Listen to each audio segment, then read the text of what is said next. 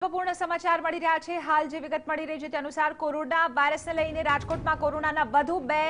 positive case નોંધાયા રાજકોટમાં positive કેસની સંખ્યા ત્રણ ઉપર પહોંચી છે હાલ આપણે જણાવી દઈએ કે જે તાજા અપડેટ મળી રહી છે તે અનુસાર રાજ્યમાં પોઝિટિવ કેસની સંખ્યા પાંત્રીસ ઉપર પહોંચી રાજકોટમાં કોરોનાના વધુ બે કેસીસ પોઝિટિવ નોંધાયા છે હાલ જે વિગત મળી છે તે અનુસાર રાજકોટમાં પોઝિટિવ કેસની સંખ્યા ત્રણ ઉપર પહોંચી છે રાજ્યમાં પોઝિટિવ કેસની ટોટલ જે સંખ્યા છે કોરોનાના પાંત્રીસનો આંકડો અહીં પહોંચ્યો છે રાજકોટમાં કોરોનાના વધુ બે પોઝિટિવ કેસીસ નોંધાયા એટલે કે રાજકોટમાં કુલ ત્રણ પોઝિટિવ કેસ કોરોનાના નોંધાઈ ચૂક્યા છે હાલ આપણે જણાવી દઈએ કે જે તાજા અપડેટ છે તે અનુસાર રાજ્યમાં હવે ટોટલ જે કોરોના પોઝિટિવ કેસનો આંકડો છે પાંત્રીસ ઉપર પહોંચ્યો છે